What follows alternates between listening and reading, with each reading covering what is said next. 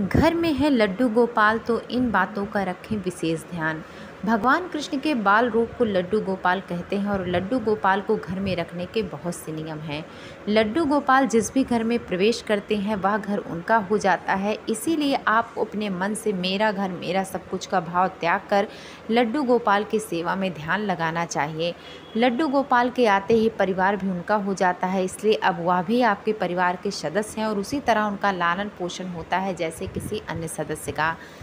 लड्डू गोपाल की हर ज़रूरत का ख्याल बिल्कुल वैसे करना होगा जैसे आप अपने बच्चों की ज़रूरतों का करते हैं।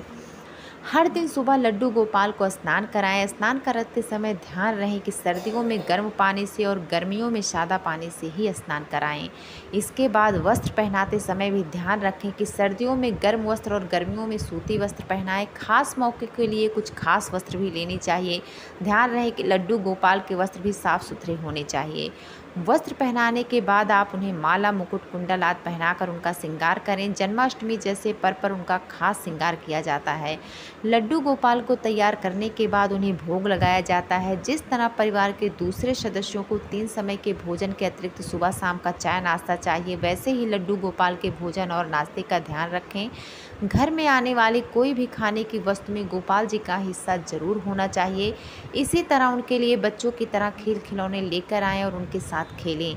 समय समय पर लड्डू गोपाल को बाहर घुमाने लेकर जाएँ, उनसे बात करें, उन्हें लोरी सुनाकर सुलाएँ और हर दिन उन्हें प्यार से जगाएँ।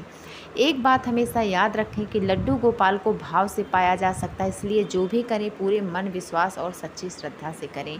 राधे राधे